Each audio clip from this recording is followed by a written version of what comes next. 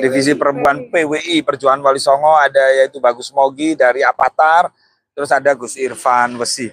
Nah, alhamdulillah hari ini siang ini tadi eh, kami eh, memenuhi itu ya apa itu panggilan undangan daripada PPA eh, unit PPA dalam rangka untuk menindaklanjuti laporan dari Mbak Zeda Salim yang selama ini teman-teman bantu untuk memviralkan tujuannya untuk mengedukasi masyarakat agar tidak terulang kembali kejadian yang menimpa perempuan-perempuan Indonesia seperti yang dialami oleh Mbak Zeda. Apalagi yang melakukan itu adalah tokoh agama, Oknum Habib. Nah, harusnya tokoh agama, Oknum Habib itu kan harusnya menjadi contoh atau menjadi teladan. Tapi ini malah keterlaluan. Bahkan saya mendengarkan dari Mbak Zeda sendiri, uh, kurbannya itu banyak yang curhat ke beliau ini sudah hampir dua losen gitu loh. Nah ini kan ya lumayan dikit apa banyak kan banyak gitu loh. Makanya kasus ini harus kami kawal betul.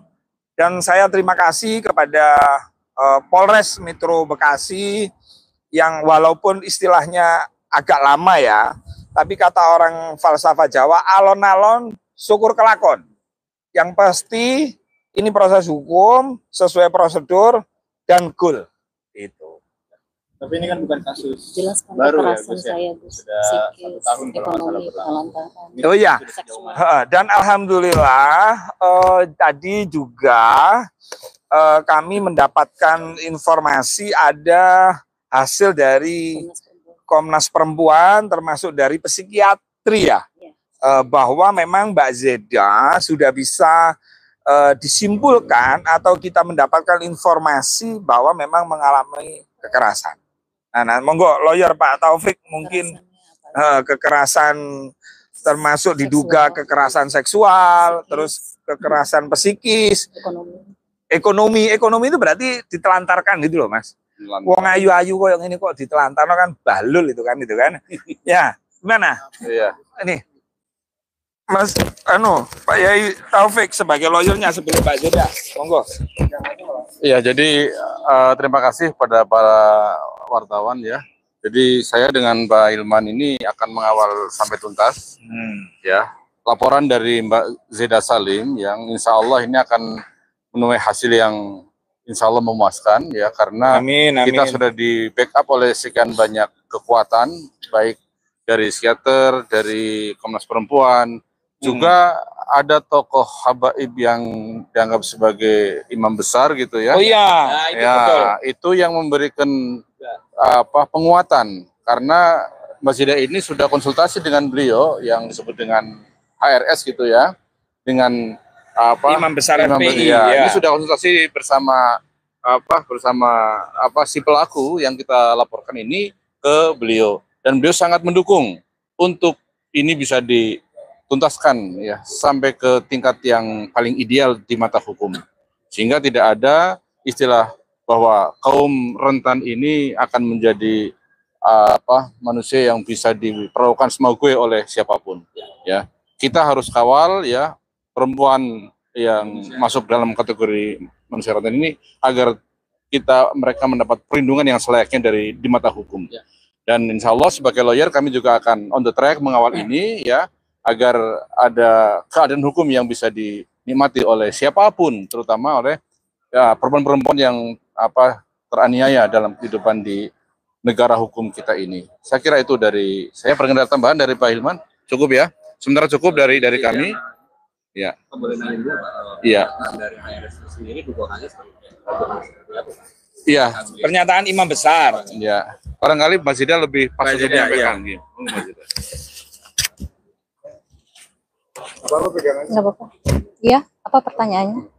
pernyataan imam besar. Tanya dari Ya, sebelumnya eh, saya ingin menjelaskan dulu bahwa dalam kasus ini saya mengalami kekerasan yang tidak main-main, di mana tadi sudah disampaikan oleh lawyer saya Gus Rofik ada kekerasan seksual menurut data Komnas Perempuan ya. Saya mengalami banyak kekerasan berat yaitu kekerasan seksual, kekerasan psikis, mental, kekerasan ekonomi dan juga penelantaran. Itu bukan kekerasan yang ringan dan main-main ya. Jadi sampai saya dirawat di rumah sakit jiwa setengah tahun karena saya mencoba mengakhiri hidup berkali-kali dan bahkan kezoliman oknum Habib ini sudah sempat saya laporkan ke imam besar HRS. Masalah keluarga saya dengan oknum Habib ini sempat dimediasi oleh imam besar HRS. Di mana di situ HRS mengakui memang si oknum Habib ini sudah menzolimi saya. Sudah melakukan perbuatan yang tidak pantas kepada saya. Dan memang pada waktu itu IBHRS memberikan dukungannya dalam bentuk mengajukan diri untuk menjadi saksi di mana akan ada surat bermaterai yang menyatakan bahwa saya adalah istri dari oknum Habib ini. Di mana ada surat keterangan bermaterai baik itu surat perceraian ataupun surat rujuk. Di situ IBHRS sudah mengajukan diri untuk menjadi saksi utamanya dalam surat bermaterai. Namun yang saya kecewa adalah sampai detik ini permasalahan itu tidak ada ujungnya, tidak ada penyelesaiannya. Jadi istilahnya saya kayak di PHP gitu ya. Saya kayak diberi harapan katanya akan diselesaikan, tapi faktanya dari pihak keluarga IBHRS mengultimatum saya untuk tidak membawa-bawa HRS ke dalam masalah rumah tangga saya. Menurut saya ini kan lucu. Ya. IBHRS yang mengajukan diri untuk membantu memediasi atau menyelesaikan masalah rumah tangga saya dengan adanya banyak kekerasan yang terjadi bersama oknum Habib ini. Tapi kok tiba-tiba saya diultimatum tidak usah bawa IBHRS lagi. Ada apa ini? Apakah memang si oknum Habib ini mencoba untuk menghalang-halangi saya agar boroknya nggak kelihatan di depan HRS? Wallahu alam. Jadi itu. Bagus Mugi mungkin nambahin Oke, dari pihak baik pecinta Wali Songo wakilnya Kiai Imat Baik, Assalamualaikum warahmatullahi wabarakatuh. Waalaikumsalam Jadi kami dari Aliansi Pencinta Ulama Nusantara ini ikut mengawal Mbak Zeda, apalagi oknum pelaku tersangka ini, ini juga sudah kami selamporkan juga kepada MUI. Hmm. Ini masuk kepada bagian kesatan karena ketika untuk menjerat para wanita korban-korban wanita itu dengan mengaku-ngaku sebagai cucu Nabi. Nah ini. Nah, ini eh, sama saja dalam kriteria Sat MUI itu sama dengan melecehkan dan merendahkan Nabi. Ya. Karena mengaku sebagai cucu Nabi, mengaku sebagai ulama, tapi kok sifatnya tidak bisa menjadi panutan, malah memberikan contoh yang zalim, yang itu bagian dari kesatan. Makanya kami dari Aliansi Pecinta Ulama Nusantara eh, BKN termasuk BKN termasuk perjuangan Wali Songo Indonesia eh, dengan para keluarga Wali Songo juga ini mendukung penegakan hukum untuk jalur eh, Mbak Zeda yang dizolimi oleh oknum Habib Ba'alawi eh, yang berasal dikenal dari Turan Yaman. Dan ini sebenarnya tidak hanya satu-satunya saja. Ya. Ini Mbak Zeda ini eh, berjuang dan kami bantu supaya tidak ada lagi korban-korban yang bisa terjadi dari para ulah-ulah oknum-oknum Habib Ba'alawi Musliman. Karena ada kasus di Madura, ada kasus di Kalimantan, ada kasus di Cirebon, bahkan untuk kasus orang ini saja korbannya sampai dengan dua lusin. Ya. Tapi tidak semuanya berani sebagaimana Mbak Zeda. Jadi kita menghargai, menghormati Mbak Zeda ini wanita yang berani, soal yang pejuang. Dan kita akan terus berjuang untuk eh, meneruskan keadilan ini. Terima kasih ya kami saya. Mau dari, dari tadi gak tenang. Saya kan.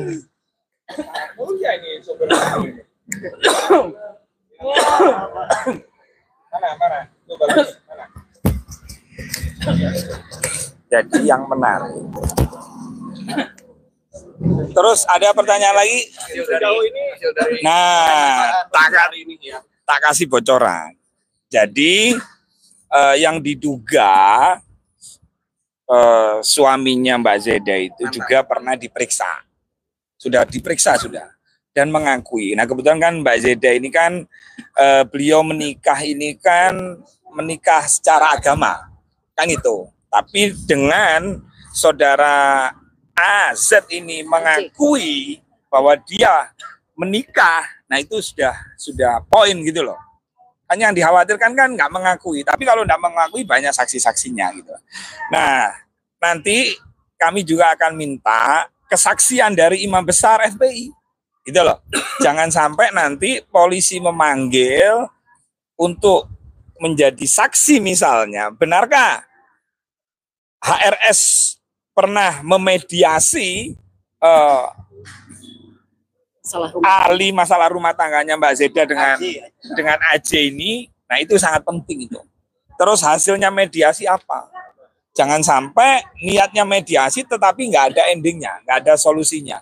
Kata orang Jawa, awawu. Nah, itu jangan sampai itu. Ya, kita percaya sepenuhnya kepada Polres Metro Bekasi bahwa kasus ini insya Allah berlanjut dan berakhir di meja pengadilan. Amin, amin. Amin. Ya, itu ya doanya ya. Isu yang terbaru atau yang paling terakhir itu kapan? Ada apakah ada lagi? Ya, saya terakhir menjalani hasil menjalani pemeriksaan visum psikis ya tahun kemarin. Eh, tahun ini hasilnya sudah dipegang oleh pihak penyidik. Boleh diceritain itu seperti apa hasilnya? Hasilnya ya ya hasilnya eh, anu traum sebenarnya nggak bisa diungkapkan ini mas. Karena itu untuk kepentingan penyidikan. Yang pen- yang yang pasti hasilnya memang telah terjadi kekerasan psikis. Gitu. Ya. Ya, yang terbaru. Ya itu ya teman-teman ya. Nah, itu sama cukup ya. Ya paling korban-korban yang lainnya. Coba dijawab. saya menyampaikan, saya menyampaikan saja jika ada wanita-wanita di luar sana yang merasa menjadi korban nah itu. Buka posko kita buka posko. Ya, AJ. karena yang mengadu ke saya satu lusin lebih, versi yang lain satu lusin. Jadi kalau digabung dua lusin, bayangkan satu oknum Habib saja sudah merendahkan puluhan harkat martabat perempuan diinjak-injak seperti itu ya. Baru satu oknum Habib. Bagaimana dengan kejadian yang tidak kita tahu di luar sana? Menurut saya ini miris. Saya kenapa saya bersuara sampai sejauh ini sebenarnya saya sangat capek ya. Saya sudah mengalami kekerasan psikis yang luar biasa berat tapi saya masih harus dihantam lagi dengan laporan yang tidak kunjung usai seperti ini tujuan saya semata-mata adalah agar oknum Habib ini tidak lagi menginjak-injak harkat martabat perempuan. Ya. Jikalau hanya saya yang direndahkan, mungkin saya tidak akan sejauh ini. Anggaplah saya sedang tidak beruntung. Tapi yang tapi yang saya lihat Allah menunjukkan bahwa oknum Habib ini merendahkan, menginjak-injak harkat martabat begitu banyak sekali perempuan, puluhan, hampir satu lusin lebih. dan Bayangkan. sebagian perempuan itu sudah dimintain Ya, dan beberapa perempuan korban oknum Habib itu sudah bersuara ya di salah satu TV nasional dan mungkin untuk di BAP atau selebihnya itu nanti biarkan saya serahkan ke penyidik saja. Itu aja. Pemanggilan eh, AJ atau dari Eh, insya Allah akan dilakukan gelar gelar perkara ya. Nah itu kan keseriusan, bukti keseriusan polisi kita. Kita mengapresiasi kepada Polda Metro Jaya, Pak Kapolres. Terima kasih. Pokoknya kasus ini eh, harus bersama-sama kita kawal karena ini untuk kepentingan perempuan Indonesia dan jangan sampai ada korban-korban lain oleh tokoh-tokoh agama yang berkedok agama. Ini bahaya, Pak.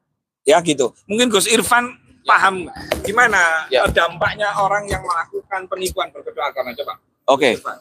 Kanjeng Nabi Muhammad An-Najmul Thaqib Sohibul Hujah Sallallahu Alaihi Wasallam kan diutus ke bumi itu kan salah satunya untuk membebaskan wanita dari ketertindasan termasuk seksologi kan gitu.